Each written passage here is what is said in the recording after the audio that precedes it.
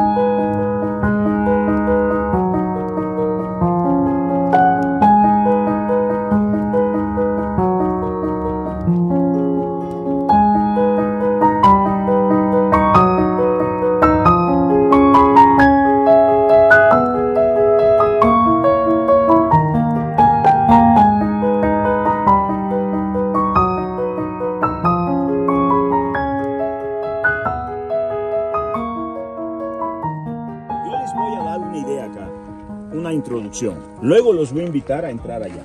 Señores, hay dos detalles que tienen que ver allá. Y luego de eso, espacio libre. Señores, la vuelta es por este mismo lugar. Quiero que recuerden lo que les dije al empezar el viaje. Cada uno va a sacar su idea personal al final. Yo les dije que si tendría que resumir Pisaje en una idea, yo la resumiría como una perfecta armonía con la naturaleza, una obra de arte. Por favor, quiero que observen cómo las zonas de cultivo, las construcciones de vivienda, los propios caminos, trails, cómo están integrados a la geografía. Y por favor, tomen en cuenta que aquí la geografía, la naturaleza es extremadamente accidentada. Señores, yo les voy a dar mucha pauta de arquitecto. Hay arquitectos que han sustentado, y esto lo voy a repetir al final del viaje, no lo olviden, que al estar en estos lugares Inca, esto lo van a sentir en Machu Picchu, lo van a sentir en Ollantaytambo hoy en la tarde. Debe estar pasando en algunos de ustedes. Estar acá no solo nos, nos late un poco más rápido el corazón, o uno dice, wow, o no notan que acá se respira un aire distinto. Señores, un aire fresco. ¿Saben que también han sustentado arquitectos? Que al estar en estos lugares incas, no hay duda, estos lugares nos trocan, nos cambian el estado de ánimo. Triste, nadie puede estar acá. Difícil. Y esto lo voy a repetir al final del viaje. Mejor Señores, dicho, es un antidepresivo natural. y miren, ¿ah? yo, yo- yo al- yo al final les voy a dar una idea. ¿Cómo podemos entender que una estructura me cambie, me troque el estado de ánimo? Señores, ahora les voy a pedir a todos que observen la montaña, donde está edificada las construcciones Inca. Por favor, Perdón, ¿y observen. esas construcciones son también así de familia? Sí, no, funcionarios. Acá vivía gente de élite, funcionarios, porque las familias vivían en zonas de cultivo. Señores, miren cómo todo elemento natural que el Inca halló al momento de diseñar la construcción, ejemplo, afloramientos de roca natural, miren cómo forman parte integrante de todo el concepto de la construcción. El Inca se fue más allá. No sé si lo notan. ¿Saben qué logró integrar también este hombre? El entorno. Por favor, miren lo que está alrededor, cómo juega un papel importante dentro del concepto de la construcción. ¿Saben por qué el entorno también se integra? Este grupo de montañas. Como el Inca no deformó la montaña, no la quebró, pues automáticamente el entorno también se va a integrar. Y señores, acá viene la pregunta que se hizo el experto. ¿Por qué los incas se complicaron su vida? ¿Por qué se subordinaron a esta geografía si esta geografía es tan compleja? ¿Por qué no hizo lo que hace el hombre hoy el inca? ¿Por qué no se simplificó la vida? ¿Por qué no terraplenó todo? ¿Por qué respetó esa roca que acaban de ver en ese muro? La respuesta es que el inca creía que todo elemento natural que a él lo rodeaba, pequeñas piedras que están en nuestros pies o estas enormes montañas, tenían alma, espíritu, vida. Y el miedo del Inca era que si quebraba algún elemento natural al momento de construir, por más pequeño que sea, su espíritu lo podía castigar. Por temor a este acto, por temor a este hecho, ¿qué hizo el Inca? Decidió no intervenir en naturaleza, por el contrario, se adaptó a esta. Señores, respondo a la pregunta que dejé en el carro. ¿Por qué acá arriba? Miren cuánto ha subido el bus. Y suerte que ha habido bus, les digo. Suerte, miren. Señores, ¿por qué acá? Ya se los adelanté. Hecho religioso, hecho de protección, hecho de control. Les dije que fue la agricultura. ¿Qué tiene que ver la agricultura con que el Inca se haya venido sobre montañas? Señores, los académicos Inca, miren, al decirles académico, palabra que voy a usar mucho, no me refiero a hombres de ciencias sociales, ¿ah? No, yo me refiero a gente, el Inca se ha estudiado de forma multidisciplinaria. Todos los campos lo han analizado para lograr equilibrio conceptual. Estos expertos han demostrado que fue la agricultura. ¿Qué tiene que ver la agricultura con que el Inca se haya venido sobre montañas?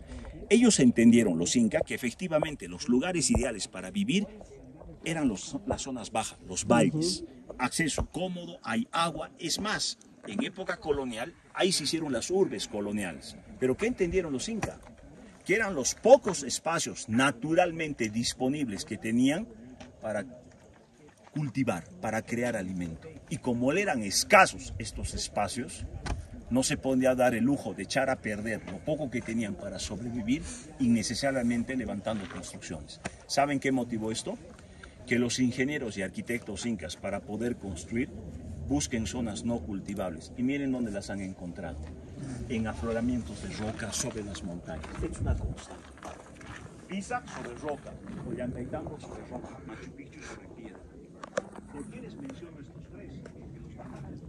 ¿Saben a qué conclusión han llegado? Que los incas entendieron que levantar sobre afloramientos rocosos no le quitaban espacio a la agricultura porque son zonas incultivables. Yo pregunto, ¿cómo podemos comprobar este hecho? Que levantar sobre un afloramiento rocoso implicaba no quitar espacio a la agricultura. Acá se los puedo demostrar. Miren qué implicaba levantar sobre el afloramiento de piedra sobre la montaña. Dejar el espacio más amplio en esta para hacer qué cosa. ¿Qué es lo que podemos ver más acá? Terrazas. Eso demuestra que la mayor preocupación del Inca planificando siempre fue la comida. Señores, sé que les va a sorprender, pero hasta hace no mucho se discutía, ahora ya no. Saben que cuentan algunos cronistas, por eso era discutible, que cuando dos incas se encontraban, sea adulto, varón, mujer o niño, y se cruzaban en un camino trilo, repetían tres cosas. Amayuya, Amaquea, Amazoa. Amaya. ¿Saben qué pensaban? Era un saludo. Eso es quechua. Vayan a una escuela, está escrito en las paredes. Vayan al palacio de gobierno de este país, está escrito con mayúscula en la pared. No se saludaban, se recordaban tres cosas. Ama es no, no robar, no ser ladrón, no mentir, no ser mentiroso. Y el más importante, el que lo hace diferente al Inca como cultura, el que más datos tenemos, el no ser perezoso, no ser aragán, no ser ocioso, el nunca dejar de trabajar. Señores, ¿saben qué ocurrió cuando San Martín y Bolívar independizaron Perú? Tomaron como lema de independencia estos tres códigos. Los expertos han demostrado que esos 10 millones de incas se regían por esos tres códigos ético-morales. ¿Y qué regían esos códigos al final? Que la agricultura nunca fallara. Y finalmente, les doy una idea más. ¿Quieren ver la dos ideas finales? ¿Saben? ¿Quieren verlo al Inca en su esencia? Solo mixtura en tres cosas. El Inca se soporta así. Llancay, Munay y Achay. Llancay, primera columna que soporta al Inca. ¿Qué es Llancay? El poder del trabajo. Más que trabajo, esfuerzo. Y más que esfuerzo, recuerden, para vivir acá, sacrificio. Y Achay, el poder del conocimiento, la inteligencia, la sabiduría. Y el tercero, nuevamente, lo hace diferente al Inca como cultura. Y es lo que le sobra a la gente. Munay. ¿Y qué es Munay? El poder del amor, el poder del cariño. Amor, cariño que el Inca sintió aquí, a su gente, al trabajo, a la naturaleza. Mezclen eso, ese es el Inca. Y con esto finalizo. ¿Recuerdan ese sistema colectivo familiar que yo narré en el bus? Extraordinario modo de vida que permitía simplificar esfuerzos y tiempos. ¿Y que permitía al Estado Inca, a la élite? Que las familias dispongan de espacios libres para generar excesos al Inca, excesos de. ¿Y dónde le generaban su exceso, ejemplo, al? Ejemplo acá. Estas terrazas eran del rey. Acá se hacían los excesos. Señores, ¿saben qué hacían cuando las familias venían a trabajar para el rey aquí? Mamá, papá, niños, perdón, a sacrificarse para el rey. Señores, se colocaban su mejor gala. Pregunto, ¿dónde me pongo mi mejor gala? Cuando festejo, cuando celebro.